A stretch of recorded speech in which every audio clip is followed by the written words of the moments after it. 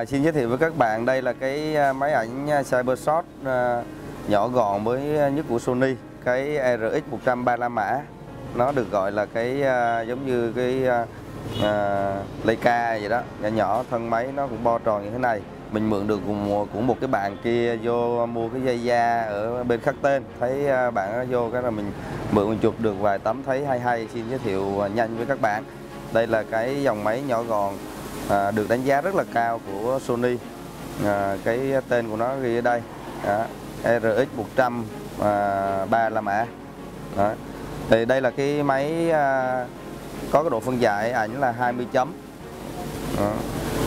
cảm biến nó có kích thước 1 in có nghĩa là tương đương với lại kích thước của cảm biến ảnh của mấy cái máy à, ảnh à, DSLR mà định dạng à, APS-C đó à, gọi là máy rót đó rồi chúng ta thấy à, thứ nhất là cái ống kính của cái dòng máy này là ống kính à, T sao của ZX à, cái ống kính à, rất là chất lượng. À, T sao nghĩa là nó có thêm à, được một số lớp tráng phủ coating để mà chống chói chống các cái tia sáng à, xấu những cái tia sáng à, à, không tốt à, trước khi nó đi vào sensor. À, lớp tráng phủ T sao rất là tốt của cái hãng này và tiêu cự của ống kính là 8.8 đến 25.7 à, zoom 3x có nghĩa là tương đương với cái ống kính à, 24 70 à, à, độ mở của khẩu độ lớn nhất của nó là 1.8 cho đến 2.8 trong cái giải zoom à, 3x này. Như vậy là cái à, độ mở của ống kính rất là lớn.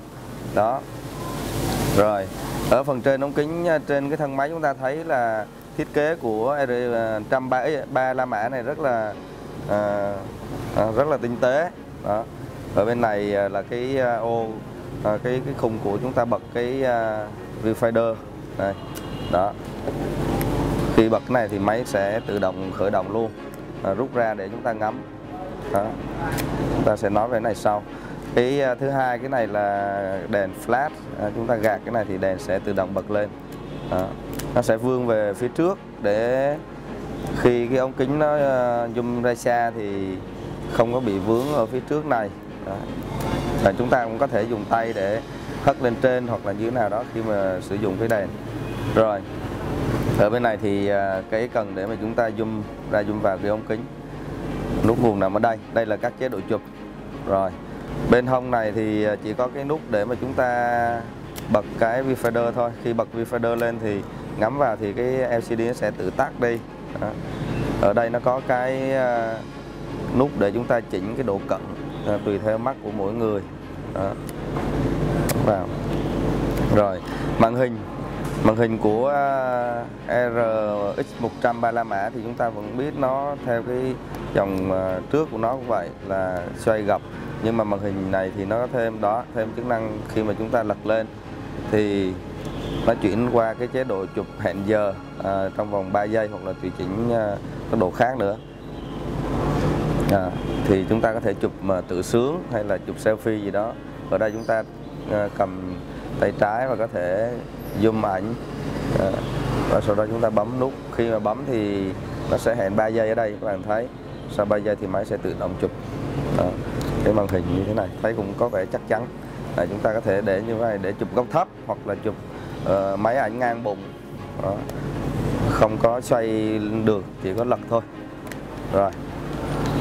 Phần uh, bên này thì chúng ta thấy cũng có cái vòng xoay để mà điều chỉnh các cái thông số cũng như các cái tính năng. Ở đây cái nút function đây menu đây view ảnh. À, đây là cái nút bấm bấm một nút để mà chuyển qua chế độ quay. Rồi. Ở dưới này chúng ta thấy là có cái khuy để mà gắn tripod chúng ta coi thử cục pin nó như thế nào. Đó, pin à, BX1 BX1 dung lượng của nó là 1240 đó một cái máy ảnh nhỏ mà nó nhốt rất là nhiều cái à, công nghệ mới ở trong à, cái máy này. Chúng ta thấy là đây có cái kết nối gọi là NFC này. Rồi bên này sao? Bên này thì rất đơn giản có hai cổng cổng multi với cổng HDMI có cái nối wifi à, riêng có nối wifi thì các bạn biết rồi chúng ta cài một cái app nó gọi là play memory ở trên cái điện thoại.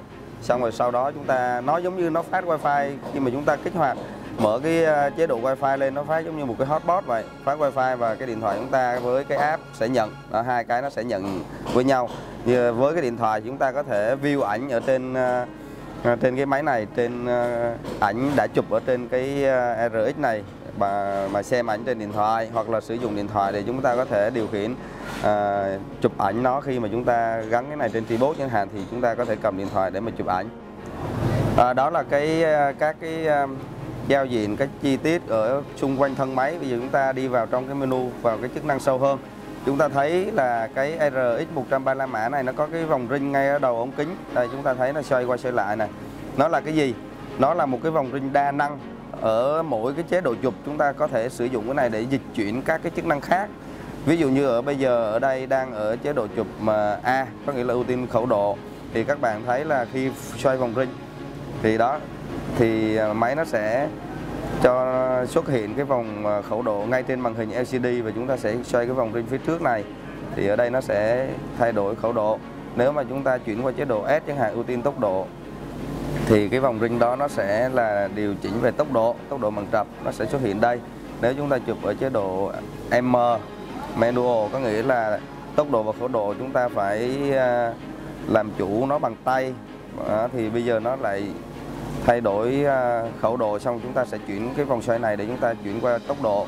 Rồi hoặc là chúng ta ở chế độ chụp B chế độ tự động cả hai thông số tốc độ khẩu độ thì lúc đó nó sẽ xoay hai vòng luôn. Đấy, nó tính ánh sáng máy đo sáng xong ví dụ như ở đây là à, phải chụp ở tốc độ 60 1 phần 60 giây. Đó ví dụ như 1 phần 60 giây à, khẩu độ là 3.2 nếu mà chúng ta xoay tăng tốc độ lên 1 phần 80 thì nó cũng sẽ tự động à, mở khẩu lên 2.8 đó thì như vậy là người chụp mà sẽ sử dụng cái vòng này để thay đổi cái thông số tùy theo ý mình rất là nhanh. Và ngoài ra thì ở chế độ các chế độ thông minh thì cái vòng ring đó nó như thế nào? Vòng ring đó nó sẽ chuyển qua à, zoom. Đó, zoom ống kính. Thay vì chúng ta phải sử dụng thêm một ngón tay phải để mà à, điều chỉnh cái ống kính zoom ra zoom vào như thế này. Rồi tương tự như vậy ở cái à, panorama thì cái vòng ring đó lại à, để mà di chuyển à, cái hướng à, dịch chuyển máy chụp pano. Cũng dụ như đây qua bên à, phải ly máy qua phải thì giờ xoay này thì có nghĩa là pano từ dưới đất lên đó, hoặc là qua bên trái hoặc là từ trên xuống dưới. Đó, rất là tiện. Rồi tương tự như vậy thì ở cái chế độ khác cũng có những cái để mà xoay cái vòng ring này. Ở trong cái manual hay là ở một cái chế độ khác thì vòng ring này lại có công dụng khác. Mình ờ, rất là thích cái cách làm như thế này. Vừa nhanh gọn à, rất là hay. Cái máy này thì cũng tương tự như các máy Sony khác. Chúng ta thấy là ở đây có cái các cái liên quan đến hình ảnh chất lượng ảnh. Đây thì liên quan đến các cái chế độ chụp hay là lấy nét ở đây thì có chúng ta thấy là có cái uh, kết nối wifi uh, gửi ảnh trực tiếp qua smartphone qua một cái app của Sony hoặc là gửi vào trong cái máy tính là lên uh, trình chiếu lên cái màn hình. Đó thì ở đây là kết nối với smartphone các loại điện thoại thông minh qua một cái app để gửi ảnh từ cái điện thoại từ cái máy ảnh này sau khi chụp qua smartphone thì chúng ta gửi lên các trang mạng xã hội chia sẻ chẳng hạn. Đó ở đây thì nó quản lý các app uh, mình cài vào như thế nào đó rồi có cái ờ, function cái nút function ở ờ, đây chức năng đây. Chúng ta bấm vào đây thì nó hiện ra cái ờ, list cái ô các cái ô để mà tùy chỉnh các cái tính năng như là à, chụp mà nhiều tấm hay một tấm rồi chụp mà ao à, tùy chỉnh cái à, độ nhạy sáng ISO đó. Hay là à, cái RX 135 mã này nó có thêm một cái à, filter auto ND đó, rất là hay. À, để mà cái này thì à, theo như thông số của hãng công bố thì nó giảm được hai khẩu nghĩa là khi mà mình cần giảm sáng ví dụ như mình đã khép hết khẩu chụp tốc độ chậm rồi nhưng mà không thể nào à, giảm thêm được nữa thì chúng ta sẽ bật cái này on lên ND nó sẽ giảm thêm được hai khẩu. Để chúng ta có thể phơi thác hoặc là chụp ở một cái môi trường ánh sáng nào đó mà cần giảm sáng ống kính. Đó thì cái này cũng được nhiều người đánh giá rất là cao cái tính năng ND ờ, trong cái cái máy ảnh này. Rồi hoặc là cộng trừ EV chế độ đo sáng. Đó. Thì với cái một cái nút bấm này thôi các bạn sẽ chọn hết tất cả những cái thông số cần thiết mà mình hay sử dụng trên máy ảnh ở trong cái chất lượng ảnh chúng ta lại có thể chụp à, cái chất lượng ảnh RAW. Đó. Hoặc là RAW rebatch có nghĩa là thêm một cái file rebatch để mà dự phòng rồi file RAW để mà dành cho những người thích chụp à, với một cái ảnh có những cái lượng thông tin ảnh nhiều để mà về có thể hậu kỳ à, nó thoải mái hơn cái giải màu nó rộng hơn thì chụp file RAW đó thấy một cái máy ảnh nhỏ và nhiều công dụng và mình cảm thấy nó rất là chất lượng rất đáng quan tâm. Giá thị trường thì mình thấy ở trên mạng nó rao là khoảng 800 đô với chiếc máy này. Xin cảm ơn các bạn.